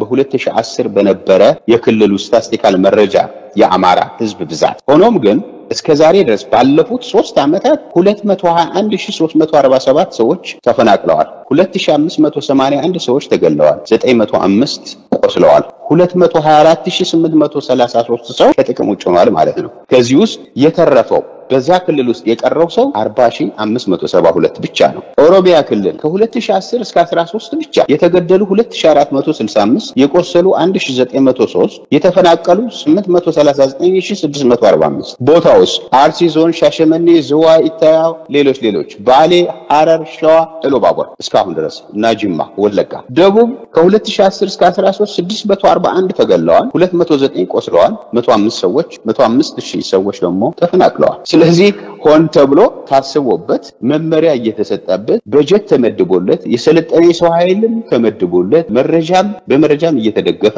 የሚከናወን እንጂ በዘፈቀደ የሚደረግ ነገር አይደለም። በዘፈቀደ የሚደረግ አይደለም። መንግስት መቆጣጠር እንደሚችል የምታየው አንዲት ሴት ጣሊያን ሀገር ስትገደል እስከ የከተማው ከንቲባ አዳነች አቤቤ ድረስ ነው ተጻጽፋ አስከሬን ያመጣች። በአስር ሺዎች በኢትዮጵያ ውስጥ ሲረግፍ ግን ዞር ብሎ የሚያየው ተመልካች ያጣ ነው። አንድ ሀጫሉ በሚገደልበት ጊዜ የተደረገው መስዋዕትነት የተከፈለው ሁሉ ነገር ከሚጠበቀው ከአንድ ሰው ዋጋ በላይ ነው። በስሙም በስሙ መንገድ ተሰይሞለታል። ለቤተሰቦቹ ከአስር ሚሊዮን ብር በላይ ተሰጥቷል። ከዚያ በፊት የተሰጠው መሬት 83 ሚሊዮን ብር ሽጦት ነው ያለፈው። አማራው ግን በጅምላ ይገደላል፣ በጅምላ ይቀበራል፣ በጅምላ ስጋው ይበላል፣ ደሙም ይጠጣል። እኔ የማዝነው አብይ በሚፈጽመው በደል አይደለም። አብይ ተልኮ ነው፣ ተልኮ ነው፣ ተግባሩ ነው። ኦሮሚያን ከአማራ የማጽዳት ተልእኮ ነው። ከልጅነት ጀምሮ የተቀረጸበት ነው። እሱ እናትና አባቱ ቢወልዱትም ግን በህወሓት ማዕፀን ውስጥ ያደገና ለዚህ ደረጃ የደረሰ ሰው ነው። ያንን አስተሳሰብ አዳብሮ ጭራቅ የሆነ ሰው ነው። ስለዚህ የሰውዬ ይህን ቢፈጽም አያስገርምም። ግን ቅድም እንዳልከው የአማራ ክልል ባለስልጣናት የተባሉ ለከርሳቸው ሲሉ አማቻችን እያሉ እናገኘው ተሻገር ናቸው አማቻችን ሲሉት የነበር የሚያሳዝን ነው። አማችነቱ ቀርቶ ህዝቡን ማስጨረሱን አቁም መባል ነበረበት። የአማራ ክልል ለሱ ብቻ አይደለም ገና ኦሮምኛን ትምህርት ኦሮምኛ ቋንቋ ትምህርት በክልሉ እንሰጣለን። የኦሮሞ የኦሮሚያ ክልል መስተዳድር ለፈጸመው የማረጋጋት ተግባር ክብር ይገባዋል ያሉ ናቸው። ሻሸመኔ ያህል ያ ሁሉ ህዝብ ከተጨፈጨፈ በኋላ ስለዚህ አማራ ወኪል የለውም። አማራ ወኪል የለውም ብቻ አይደለም፣ ራሱን በብሔራዊ ማንነቱ የሚያፍር ስለ ብሔራዊ ማንነቱ መስዋዕትነት መክፈል የተሳነው ነው። ህወሓቶች እኮ ያ ሁሉ ድራማ የተሰራው ለምን ከስልጣን ወረድን ነው፣ ለምን ከኢኮኖሚያዊ ጥቅም ተገለልን ነው ግን ሁሉም በአንድ ድምፅ ውሸት እንኳን ሆኖ እውነት አስመስለው ዓለምን አደናብረውታል። የኢትዮጵያን መንግስት አናግተውታል። አማራው ግን ስጋው እየተበላ ደግሞ እየተጠጣ ለአንድ ቀን ይቆጫል። በማግስቱ ረስቶት ስለ ኳስ ይሰለፋል። ስለ ኤርትራውያን ክብር ሲል ይጨነቃል። ኦሮሞዎች ተሰለፍ ሲሉት ይሰለፋል። ትግሬዎችንም ደግፎ ይሰለፋል። ኤርትራውያን ጋር ወዳጆቼ ብሎ ይሰለፋል። ራሱን ግን ፈልጎ ማግኘት አይችልም፣ አልቻለም። ስለዚህ አማራው ራሱ የፈጠረው ችግር ነው። በእንዲህ ከቀጠለ ደግሞ ይቀጥላል። ሰሜን ሸዋ ዛሬ አጣዬና ፍራታ፣ ሌሎች አካባቢዎች የተፈጸመው ብቻ አይምሰልህ፣ ሙሉ በሙሉ በቁጥጥር ስር ያውሏቸዋል። ከዚህ በፊትም ተናግሬያለሁ። ሙሉ በሙሉ ወሎንም ያለንም ጎጃም ቢሄዱም የሚከለክላቸው የለም። አገኘው ተሻገር እየመራ ነው የሚወስዳቸው። እሱ የሚኖረው እኮ ለከርሱ ነው። የሞራል ልዕልና እኮ የለውም። ትናንትና መለስ ዜናዊ በተመለከተ ይናገር የነበረው የህወሓት ሰዎች ከሚሉት በላይ ነው። አሁን ይሄ የሞራል ዝቅጠት ነው። ስለዚህ በአማራ ውስጥ ያለ አድርባይነት፣ ራስን በሎሌልነት የማሰለፍ ሞራል ቢስነት፣ ለጥቅም ማደር፣ ይሉኝተኝነት፣ ስለ ብሔራዊ ማንነት ያለመጨነቅ ችግር አለ። እኔም አማራ ነኝ ብዬ ስለ አማራነት መናገር ወይም ወደ አንድ ብሔር ሄጄ እዛ ውስጥ ተሸጉጬ ራሴን ማሳለፍ አልፈልግም ነበር። ግን ስለሚያልቀው ህዝብ ተብሎ በናዚ ስለተጨፈጨፉት እስራኤሎች እኮ የዓለም ህዝብ ሁሉ አልቅሰዋል።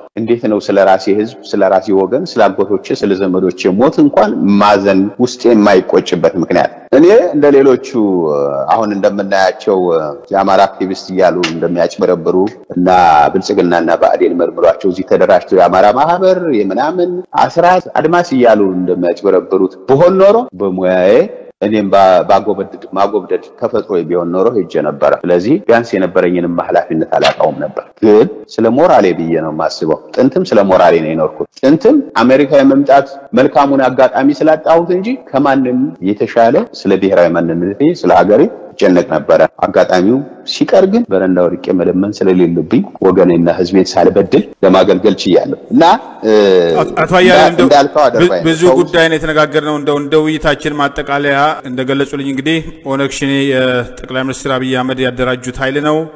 እኛና ነጀዋር አደራጀን የሚል አንድ ግለሰብ ከወደ ምስራቅ መጥቶ ነበር። በፓርቲ ውስጥም ይታወቃል።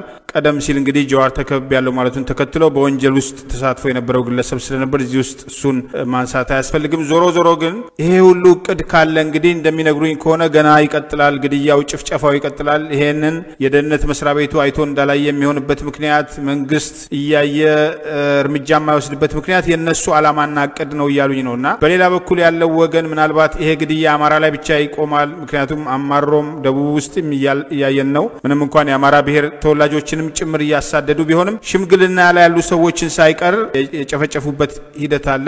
የቁጥር ጉዳይ አይደለም። እያንዳንዱ ሰብአዊ ፍጡር ክቡር ነው እና ምንድን ነው መፍትሄው? ኢትዮጵያን እንግዲህ አሁን ዛሬም ድረስ አብይ አብይ ያለ የሚያሸበሽብ የሚያጨበጭብ ኃይል አለ። በሌላ በኩል ሰውየው መንታ ማንነት እንዳላቸው አሁን አገር ቤት ውስጥ እየተፈጸመው ያለው ነገር ግልጽ ምልክት ነው። መተከል ላይ ስብሰባ ሰብስቦ በማግስቱ ከሁለት መቶ በላይ የአማራ ብሔር ተወላጆች ተጨፍጭፎ በአንድ ጉድጓድ እንዲቀበሩ ሲያስደርጉ አንድም ቃል ያልተነፈሱ ሰው ኢትዮጵያ ሌሎች ጉዳዮች ላይ ግን ይመለከተኛል በሚሉት ጉዳይ ላይ ደግሞ አልቃሽና አዛኝ መስለው የሚታዩበት ሂደት አለና ምንድን ነው መፍትሄው? እርስዎ እንግዲህ እንደ መረጃ ሰውም ሌላው እንዴት ነው መንቃት የሚችለው? ቅድም በአነሳሌ ልጀምር።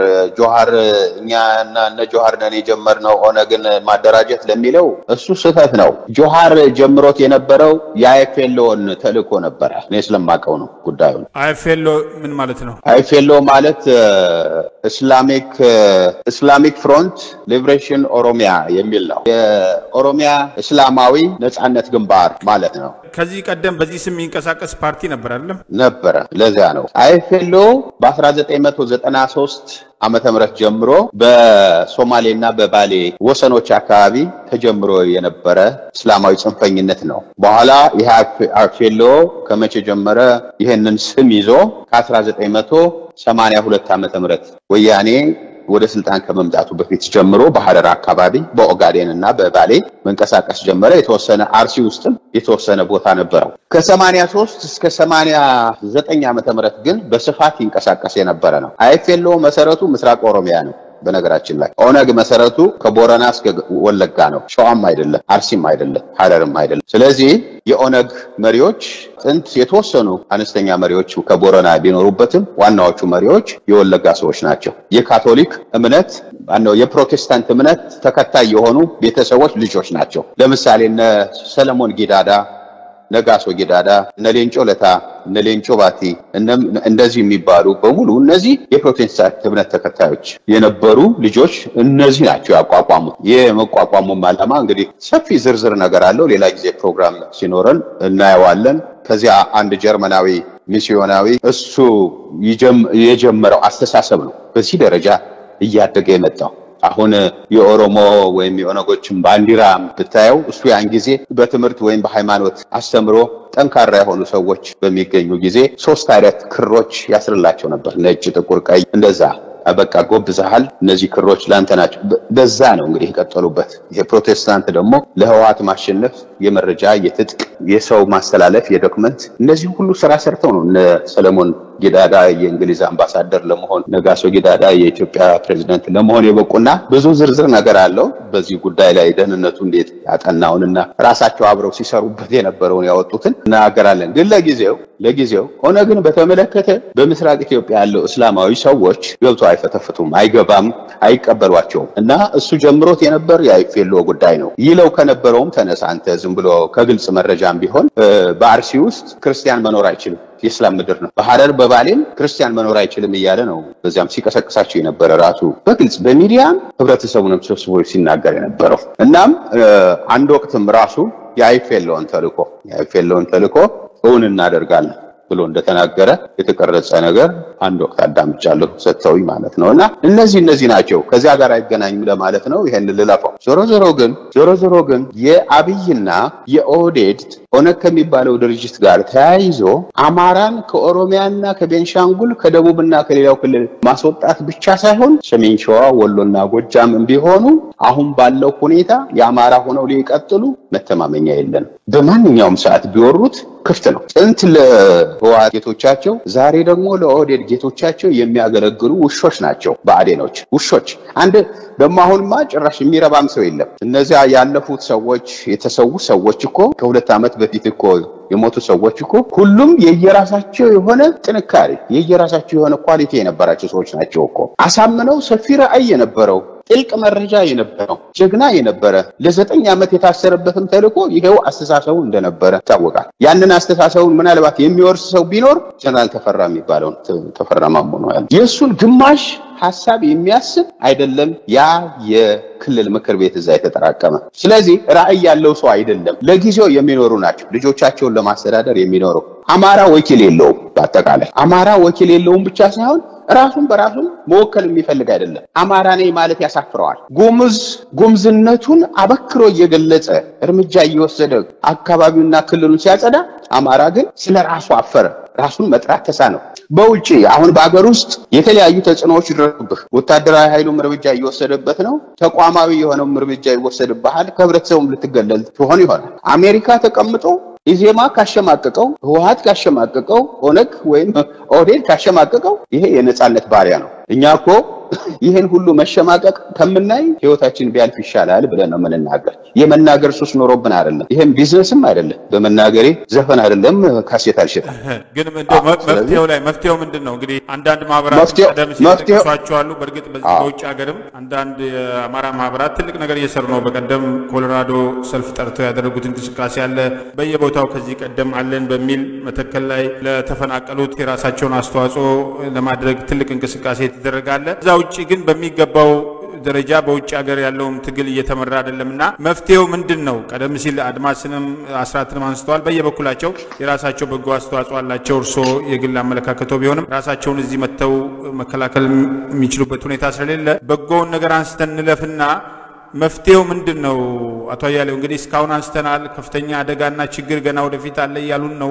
በአገር ቤትም በውጭም የሚገኘው ኃይል መፍትሄው ምንድን ነው? አሁን ጠቅላይ ሚኒስትር አብይ አህመድ አይደለም ማሻገር ገና ብዙዎችን ያስጨፈጭፋሉ። የሚፈልጉትን የኦሮሞ ግዛት ወይም ታላቅ ኦሮሞ ለመመስረት የሚደረግ እንቅስቃሴ አለ ይባል ነበር በፊት። ያንን ተግባራዊ ለማድረግ ነው እየተንቀሳቀሱ ያሉት የሚሉ ከሆነ መፍትሄው ምንድን ነው? ሌላው ኃይል ቁጭ ብሎ ነው ወይ ተቀምጦ ማየት ያለበትና እንደ መፍትሄ ሀሳብ አጠር አድርገው ይስጡንና ውይይታችን እናጠቃለ ጊዜው በጣም ጥሩ።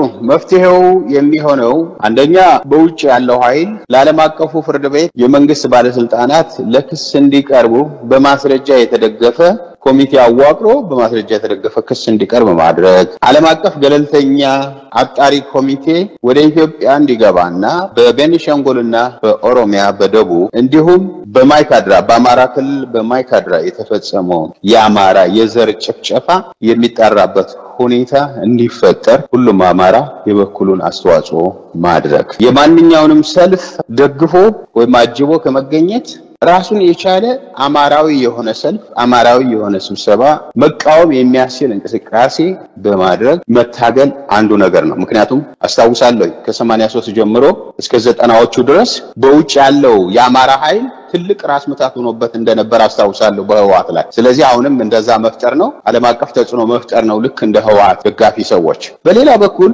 በሀገር ውስጥ በተለየ በህቡ በመደራጀት እንደ አስፈላጊነቱ ለወደፊቱ በምን መልክ መደራጀት ኢላማቸውን እንዴት መለየት እንደሚገባቸው ኢላማዎች መሆን ያለባቸው ግለሰባዊ፣ ተቋማዊና ሌሎች ሁለንተናዊ ተግባሮችን በተመለከተ ልንገልጽ ስለምንችል እንደ አስፈላጊነቱ ከተፈለገ በዚህ መልክ እርምጃ በመውሰድ የፖለቲካ መሪዎችን፣ የፖለቲካ ተቋማትን እና ሌሎች ቁልፍ ተቋማትን ላይ በሚወሰዱ ወታደራዊ እርምጃዎች ያለውን ስርዓት ከስር መሰረቱ ማስወገድ ይቻላል። በማስወገድ ሂደት ውስጥ የራስን አስተዋጽኦ ወይም ሚና የምናረጋገጥበት ሌላ ሀገራዊ መንግስት የምናገኝበት ነባራዊ ሁኔታ ማመቻቸት ይቻላል። ስለዚህ ዝም ብሎ ማየት ሳይሆን ቁልፍ የሆኑ የመንግስት ተቋማት ላይና ቁልፍ የሆኑ የመንግስት መሪዎች ላይ የሚወሰዱት አስፈላጊ ነገሮች ሁሉ ለድል ያበቃሉ። አለበለዚያ ስናለቅስ ብንኖር የእኛ ለቅሶ ለእነሱ ድራማ ስለሆነ መዝናኛቸው ስለሆነ ሲጫወቱብን ይኖራሉ እንጂ ለውጥ አይመጣም። ስለዚህ ወታደራዊ እንቅስቃሴ፣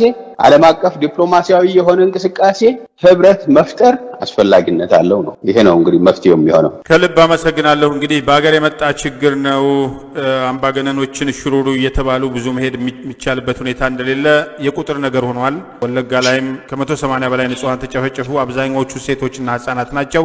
የቀሩትን በአስቸኳይ ለቃችሁ እንድትወጡ ብለዋቸዋል። አስቀድመውም ለቀው እንዲወጡ መረጃዎች ነበሩና እንግዲህ እዚህም ሀገር በተለይ ካለውት ከሙያውም አገር ቤት አሁን ካለው ሁኔታም አኳያ በዚህ ሀገር ደረጃ ላሉ መንግስትም ለተለያዩ ባለስልጣናት ወይም የምክር ቤት አባላት የሚሰጧቸው ምስክርነቶች ካሉ እንግዲህ አንዳንድ ነገሮች በሩቅ የምሰማቸዋሉና እነሱን ወደፊት በሰል ሲል ሁኔታዎች የበለጠ የምናገርበት ጊዜ ይኖራል። ሌሎችም አጀንዳዎች ላይ እንደምንወያይ ተስፋ አድርጋለሁ።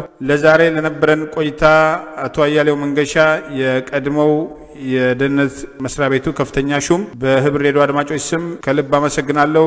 መልካም ጊዜ ይሁንልዎ። እኔም በጣም አመሰግናለሁ። እግዚአብሔር ይስጥልኝ። መልካም ሌሊት። እግዚአብሔር ይስጥልኝ። እስካሁን ስታደምጡን ለቆያችሁ የህብር ሬዲዮ ቤተሰቦችና አድማጮች ምስጋናችን ይድረሳችሁ። የህብር ሬዲዮ official YouTube channel አችንን subscribe ያላደረጋችሁ subscribe በማድረግ በተጨማሪም የደውል ምልክቱን በመጫን የህብር ሬዲዮ ቤተሰብ እንድትቀላቀሉ በአክብሮት እንጋብዛለን። በድጋሚ እናመሰግናለን። ጤና ይስጥልን።